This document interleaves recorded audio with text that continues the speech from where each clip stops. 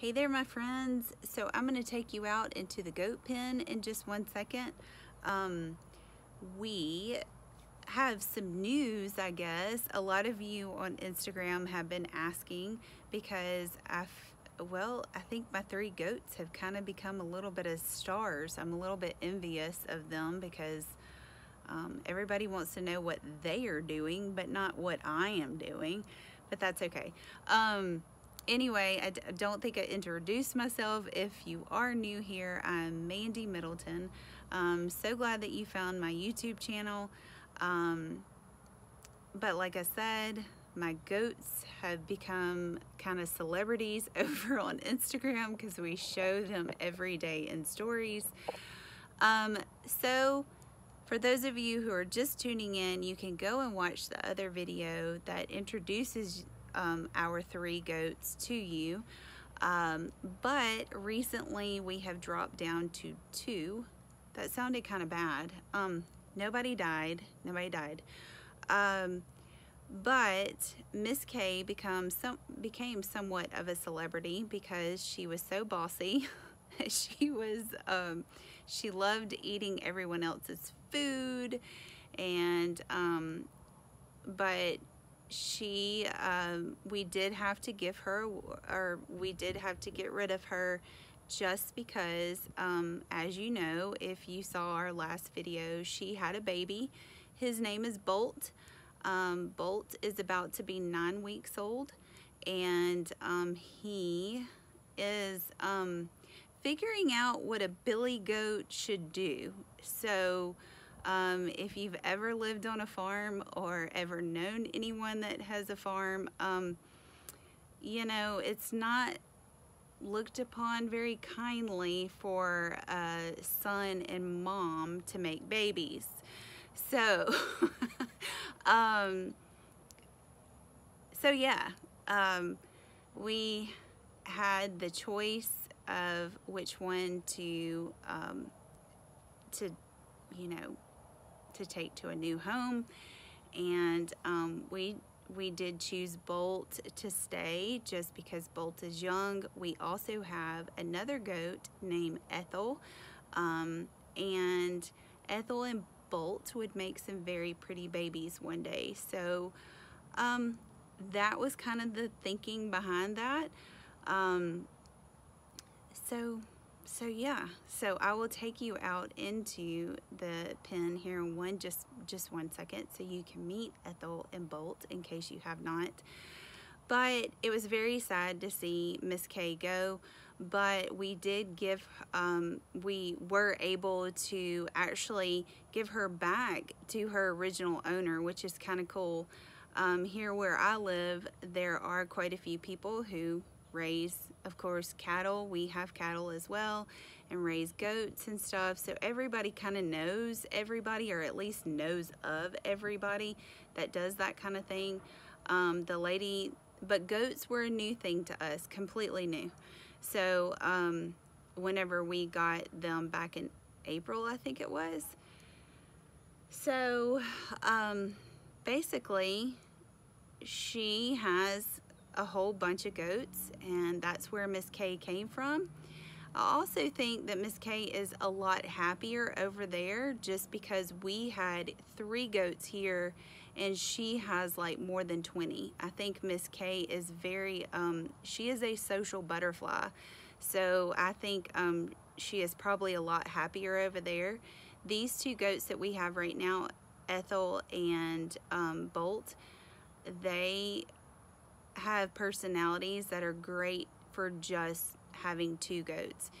If we have learned anything about goats, um, and if you were ever thinking about getting goats, goats are not the easiest things to have as pets, but they're not the hardest either. I do have to say, with our goats, and this could be a little bit different for other people, um, and you know, everybody's a little bit different, but with our goats, they are a lot harder than the cows. um, goats are a lot more like people than what I thought. Um, you cannot just have one. They do get very lonely. They want companionship. Um, but again, they are just like people. Sometimes there are certain goats that don't like being around a lot of goats and they have maybe some social anxiety. And then you have goats that, of course, you know, thrive just like with humans, thrive on other people being around, um, a lot of people being around at one time. So you have introvert and extrovert um, goats as well too. So um, I really think that it worked out for the best with Miss Kay. We hated to see her go, but of course it's always good to know that whenever they go to a good, good home, um, she does not breed them for meat and neither, neither do we. So, um, you know, the cows are not necessarily our pets, but these goats are our pets and we hate, would hate, you know, that would just be terrible. uh, to us. My kids would be very upset. We all would. But like I said, um, we have them as pets. She doesn't breed them for meat. She loves them. And I'm sure Miss Kay is just having the best time. Um, also, I'm sure that this question will come up if Bolt had like some, any kind of like um, anxiety after his mom left. Uh, we waited, uh, of course, until the right right time and opportunity. Um, and he did very well. Um, I think he did very well just because, too, he loves Ethel. Um, they become buddies and everything. And um, he cried a little bit, but honestly, I thought that we would hear him cry all night long and he didn't. I think he was already pretty much, he, he had already weaned himself enough to where he just wasn't, you know, the transition was very good. We had also heard, again, um, goats are like humans in some ways. We heard that they would have some major separation anxiety.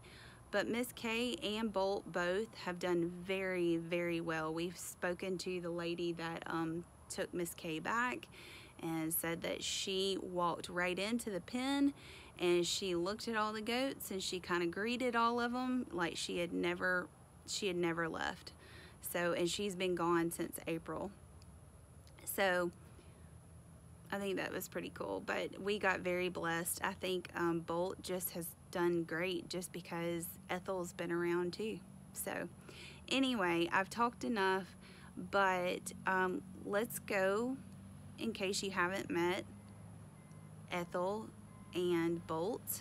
Um, let's go meet them. I almost always say Lucy and Ethel. If you saw our, please go back and watch um, my, my other goat videos because you will know that we did have one named Lucy and she passed away. So Lucy and Ethel, but it's so amazing how things work out. And um, Ethel now has a new pal and probably a new boyfriend. So, yeah. So let's go meet them. So, I'm to let you walk out with me so you can just see that is part of our cow pasture.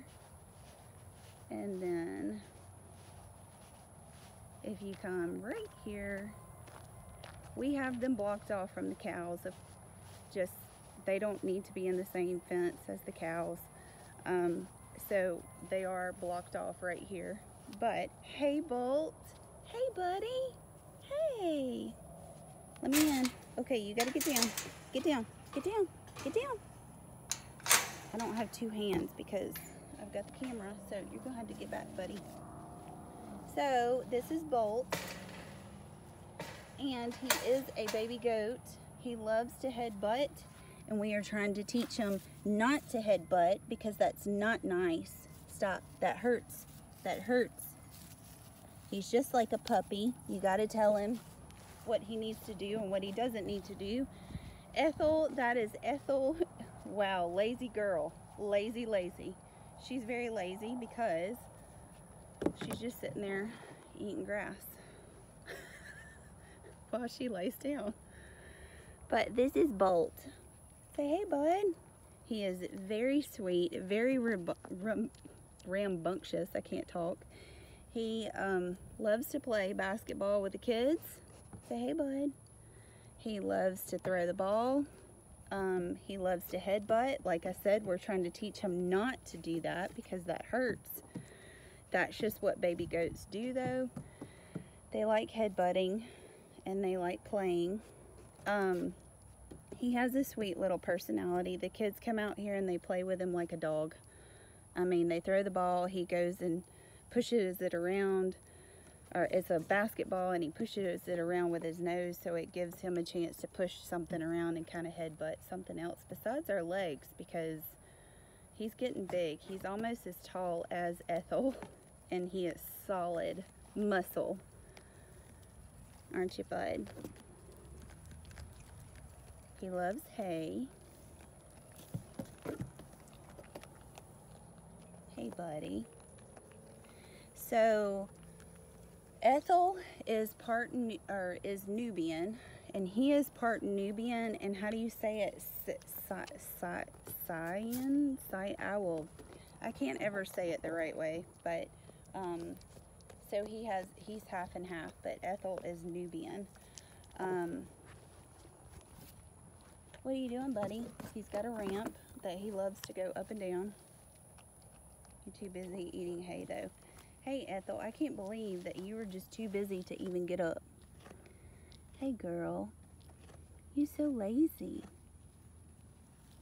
And there goes Bolt. Stop that. He's, um, he's headbutting me in the butt. That's not nice. Okay, bud, that's enough. He also likes to chew on your shorts or whatever you have. No, sir. Stop. No. No. Be sweet.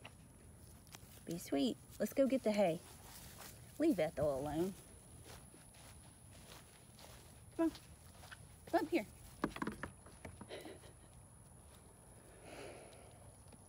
But they are very sweet. We only have two right now. People have asked if we're going to get more. Of course, you know, eventually we're hoping that these two will have a baby. But other than that, we're not planning on getting any more just yet. Um, we've kind of had a tough time with them.